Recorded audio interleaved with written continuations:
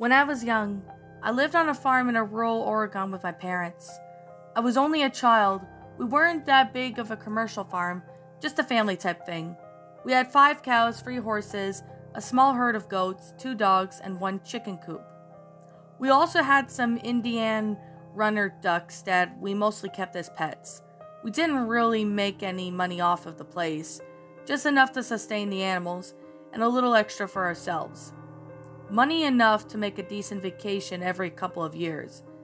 Dad had his other job in town and is ins- as an insurance agent.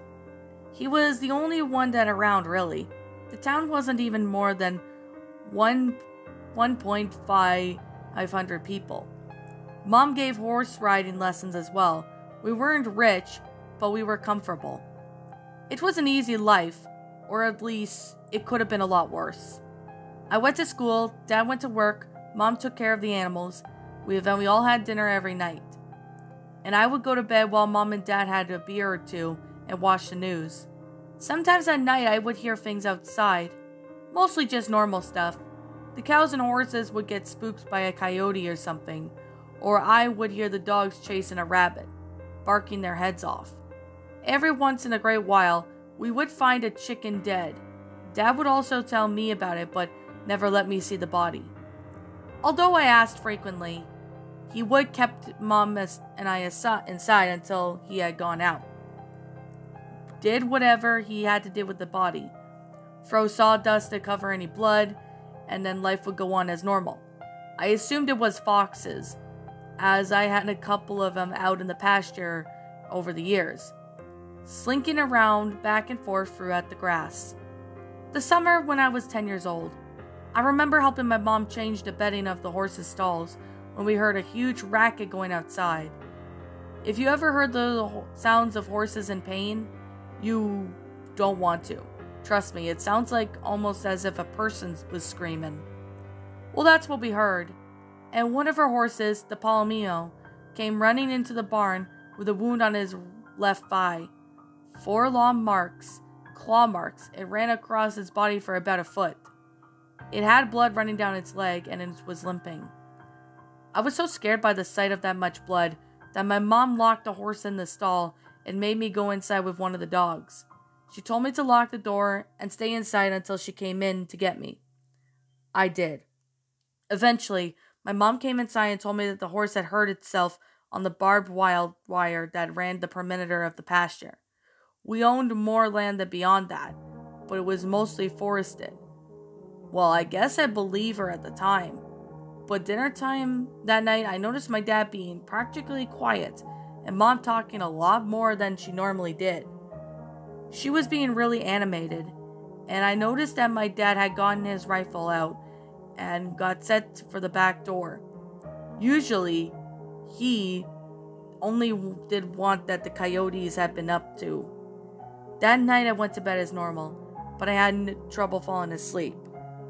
I turned on my desk lamp and decided to read a comic books until I got tired. I have a very vivid memory of reading Uncanny X-Men and hearing the back door open. Looking out, I could see my dad on the porch light, lighting up a cigarette and holding his rifle under his arm. As he started walking over to the driveway, then turned to follow the fence line. I couldn't sleep until I knew my dad was back safe. I kept coming down the stairs with an excuse of getting water to see if my dad was back in the house yet. And each time, all I saw was mom sitting on the couch in the living room, staring at the blank TV screen and looking worried, sighing occasionally, eventually about 4 in the morning, I think. Dad did come back, but I was so tired and relieved that I fell asleep as soon as I knew he was home. He never told me what he did that night, but I never thought to ask. Two months later, I was back in school. It rained a lot in Oregon in the fall, and this day was no different. All I could hear in my bedroom was rain hitting the ground and the aluminum roof of the chicken coop. There was a light thunder in the distance. It was only getting closer. I thought that I heard a coyote yapping out in the garage, or it could have been one of the dogs. I looked out, straining my eyes to see whatever there may have been. In a brief, distant lightning flash, I saw something. It looked almost like a person, but hunched over, with a long torso. It was tall, taller than my dad, who was looking good at least six foot four at least. I just barely caught a glimpse of it on the rear, near side of the garage. When the light faded and I couldn't see it again that night, there was another dead chicken the next morning, the third in just in many weeks. I told my dad what I'd seen the previous night. The color went out of his cheeks momentarily, until he told me that a storm must have been playing tricks on me. I accepted it as that. Four months after we lost that cow, it wasn't the middle of the night, we all woke up to the same time, and there was a lot of noise in the pasture, but only briefly the cry of a dying animal, and a primitive guttural yell that I have heard before. My dad rushed up to me in my room, and I could hear him running up the stairs to my room. He had his rifle in his hand and opened my door. He saw that I was awake and told me to stay inside no matter what and to try and go back to sleep. I don't think I have to say that sleep wasn't really an option any longer. But I did stay in my room, with a blanket held tight around my shoulders and standing out of the window. Probably about ten minutes later, I heard gunshots in the field. I didn't know what he was shooting at. Whatever it was, it had attacked the cow, or the cow itself, trying to put the animal out of its misery. My dad rarely, if ever, talked about that night. I later found out that he had gotten to a cow, only to find it rip open on the ground, bleeding out from its torso. The shots I heard were him shooting the cow in the head. So I kept like that for years. A chicken or a duck here and there. Something bigger, only very rarely. It sounds absurd, but I almost came of it is the commonplace. I only ever caught glimpses of that thing. Until what comes next. It terrified me. It happened in the middle of the day, over the course of a long weekend, when my parents had gone to Seattle to see my uncle, who was ill. It was a Saturday afternoon. I was 17 years old. I was out in the barn putting food for the horses and the dogs. The horses were running around in the pasture, and the dogs were asleep in the corner. One of them in the horses' stalls, I heard something rustling in the tall grass outside of the pasture. The dogs looked around for a bit, but didn't seem to mind. I assumed it was just one of those horses waiting for me to leave so they can eat. I kept going on about what I was doing, and in several minutes, I thought I heard breathing. I turned around to see it was standing in the door, tall as hell, hunched over. The sun was streaming behind it, light up the dust and the air around like some sort of sickly halo. It was looking at me, considering me maybe trying to decide whether or not I was food. I remember swearing and turning and running as fast as I could for the house, not even thinking. Panic causing my legs to move. It was behind me, but not breathing hard. I heard its feet hitting the ground in a constant rhythm. I got to the house, opened the door, and slammed it behind me and locked it. I did as fast as I could. I tore through the house, locking every door and the drawing the blinds on every window. I could hear it snarling back outside. The dogs were barking at it a lot, but they wouldn't try to attack one thing. It was too big and they knew it. It roared at the dogs and they ran off, probably to hide in the pasture. I went to my parents' bedroom and got my dad's rifle. I loaded it and set up the chair next to the living room, facing the back door, and waited. It started prowling around the house. I could hear its feet crunching on the gravel of the driveway and the wooden planks of the back deck. I kept walking back and forth. I thought about trying to look through the window to see it, but I was too scared. Eventually, after hours of hoping it would go away, the sun went down. I turned on all the outside lights and went up to my room. I opened my window. A glow from the porch light. It had long, swinny arms, and it walked on a bent knee. It was only by the chicken coop. It then disappeared from view, and I heard the chickens squawking and screeching. The thing reappeared with a dead, bloody chicken in its hands. It bit one of its wings off that we know there was dripping slime and drool and let the dead bird drop to the ground at its feet. Then it looked at me. Its eyes made contact with my eyes. It turned away again, back to the chickens. It came back with another bird, mutilated in front of me.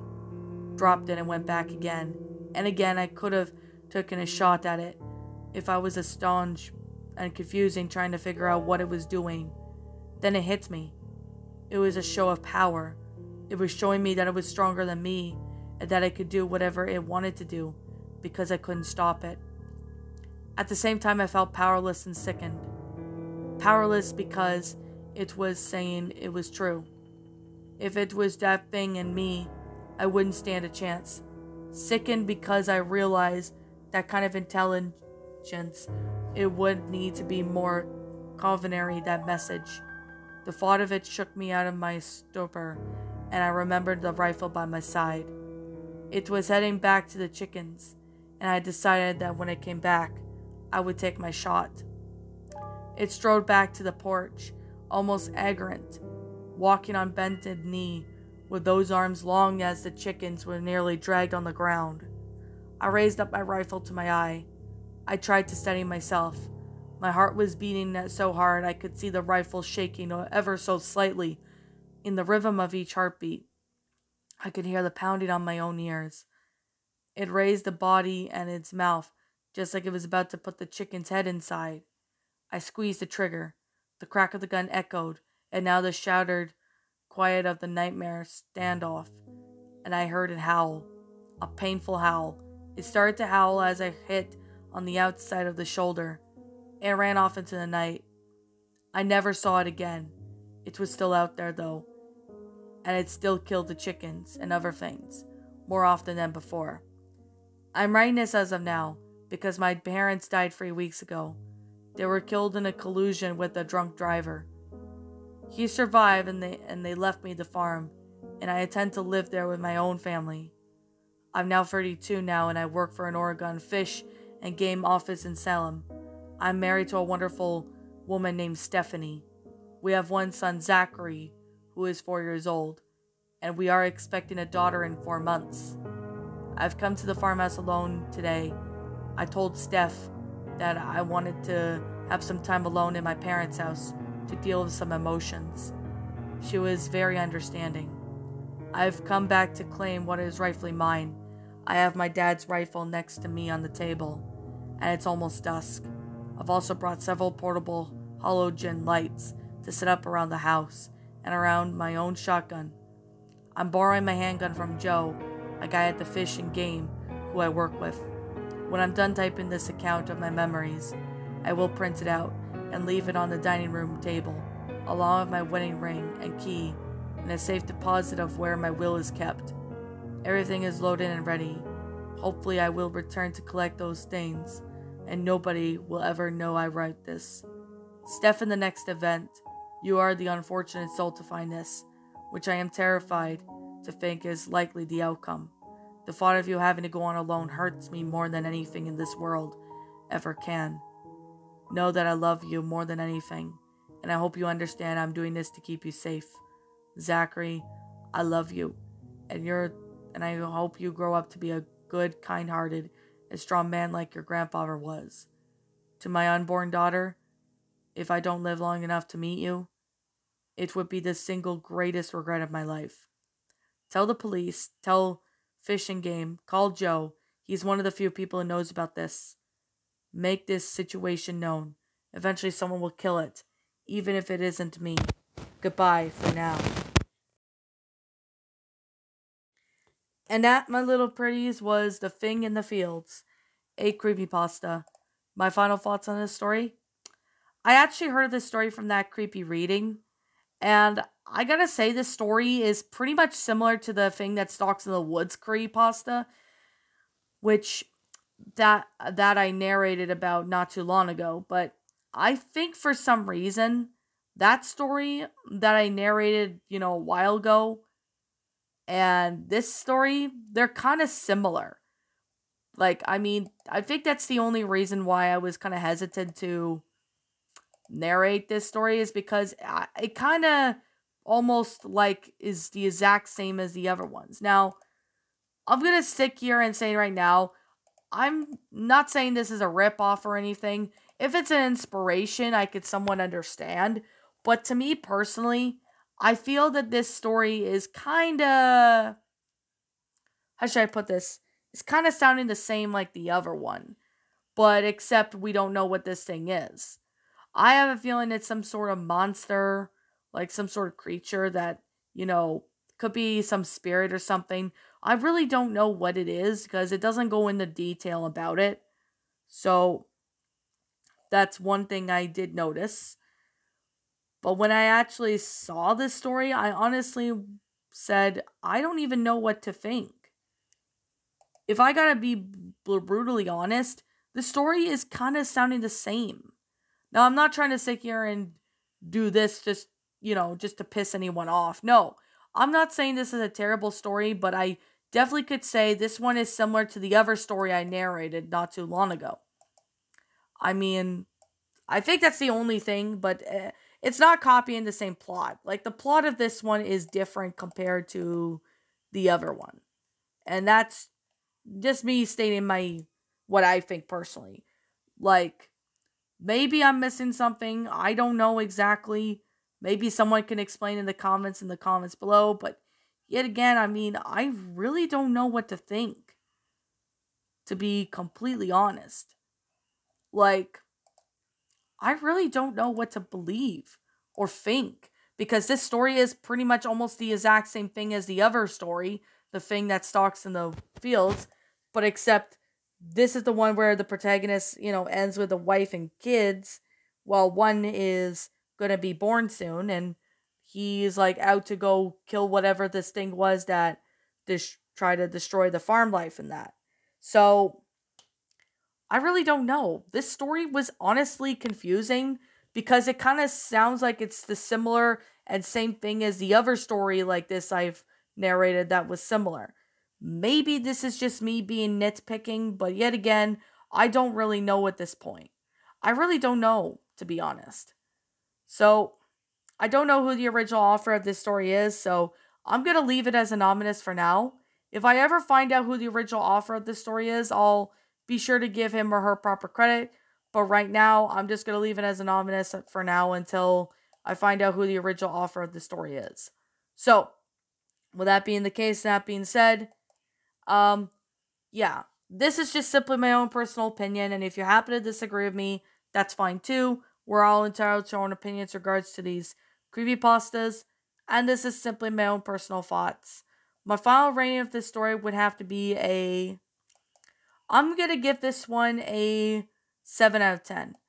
Make I'm giving it a seven out of ten because the story kind of feels the exact same almost as the thing that st- stalks in the fields. I don't even know if it's the kind of of a spin-off to it or an inspiration. But that's just me. Like I mean, I don't really know what to say else about this story. Like my mind is just literally all over the place with this story. But yet again, I mean, you guys can state your own opinions in the comments below. You know, see what you guys think. If you think it's like the same as the original, not the original, but if you think it's the same as the thing that stalks in the wood story, do you think it's like a completely different story? I want to believe it's kind of the same story, but at the same time, I'm not saying it's a ripoff or anything because it's not. I'm not saying it's a ripoff of that story. I'm just saying. But yet again, what did you guys think about this creepypasta? Did you enjoy it? Did you not? Also, what we have done first to help make this story a lot better? Feel free to leave me now with your thoughts down in the comments below. I'm the Queen of Lions. Thank you so much for watching today's episode. If you're brand new here to this channel, be sure to like, comments, and subscribe because I make brand new videos every single day. Don't forget to ring the notification bell to when I upload, so that way you guys will not miss an upload. And as always, um, please roll the outro because I'm out.